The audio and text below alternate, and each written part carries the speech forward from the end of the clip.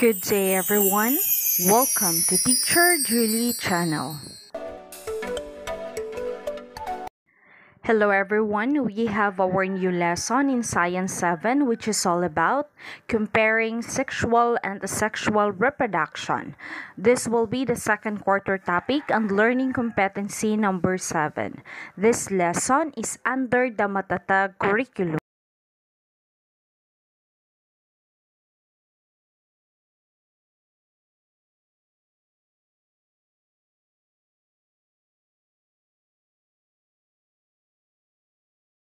For the objectives, by the end of the lesson, 80% of the learners will be able to. First is to compare asexual and sexual reproduction. The second one is to classify organisms according to the type of reproduction they exhibit. And the third one is to appreciate the asexual and sexual reproduction by using a Venn diagram. In activating the prior knowledge, the teacher will present the picture of different plants and animals, and then the students will identify if the picture is either sexual or asexual reproduction.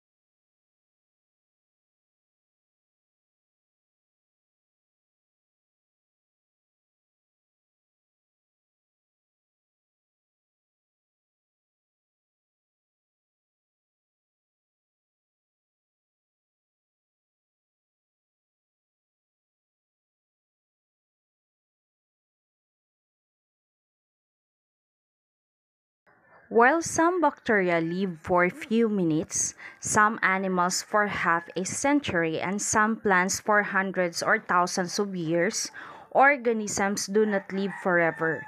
Without the process of reproduction, life would become to an end. It is one of the most important and fundamental process of living organisms. Organisms reproduce either asexually and sexually. Sexual reproduction occurs when a new individual is formed by the union of two sex cells or gametes. Hence, the offspring is unique or not identical to the parents or siblings. On the other hand, the asexual reproduction occurs when only one parent is involved in making a new creature. Since there is only one parent, all the traits of the mom or the dad are passed to the baby. As a result, the parent and the child are identical. Organisms reproduce in order to survive. To reproduce means to make a new life. Reproduction sustains the species so that it does not become extinct. In work example, the students will answer the activity called Is it sexual or asexual reproduction? So the students will decide which type of reproduction is being described by the following statement. So they are going to write A if it is a sexual reproduction and S if it is sexual reproduction.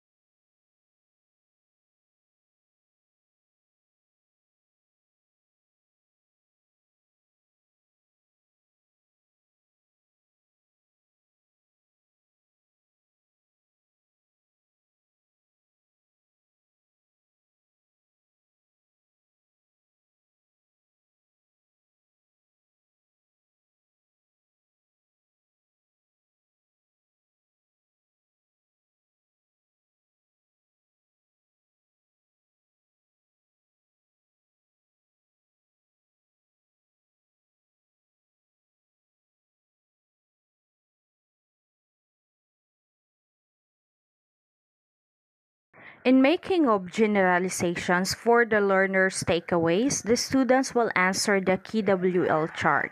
So using the graphic organizer, the students will answer the L column or what they have learned about the given